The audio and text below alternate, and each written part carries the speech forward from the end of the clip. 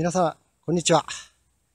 今日はどこから映しているかというと、えー、大浦温泉の途中にあります、えー、番屋峰の登山入り口から頂上に参りました。じゃあ頂上に上がります。番屋峰の頂上、一層番屋峰の頂上をお伝えいたします。そもそもこの番屋峰という名前はなぜ付けられているのか。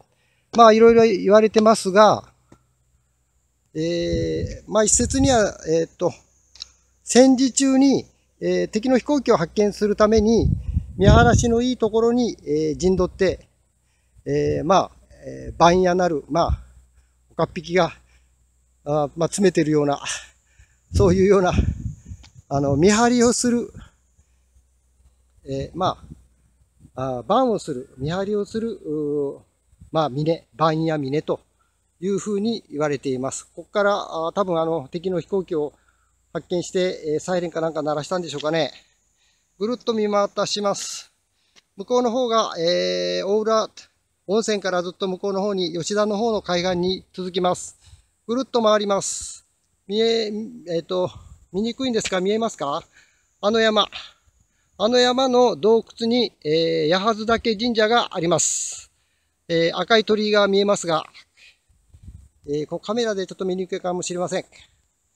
ずっとこういうふうに、えー、まあ、前景を捉えていきますと、見えますか、えー、あの砂浜はあ一層の海水浴場ですね。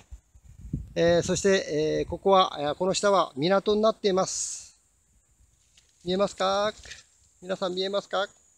え、そして、ここは一層の町を一望できる場所です。見えますかね？えー、大浦天主堂の途中に、えー、この番屋峰の登山入り口があります。そこから登ってきますと、こういう、あの、高、あの、高台小屋みたいなのがあります。こう登ってきていっぺん景色を見てください。素晴らしい景色です。運動にもなります。えー、一層の街があ一望できますね。えー、この一層って町も素晴らしい町です。屋久島で一番の港です。ですから、まあ、一層ですね。えー、昔からたくさんの魚が飛びました。飛びをも取れました。えー、サバ節工場。あの、先にあるのが移転地ですね。えー、この移転地は、あ薩節工場がずらっと軒を並べております。ぜひ、あのー、せっかく一層に来られたら、えー、大浦あ温泉に入る手前に、番屋峰、えー、の登山口があります。ちょっと登ればこういう綺麗な景色が見れるんですね。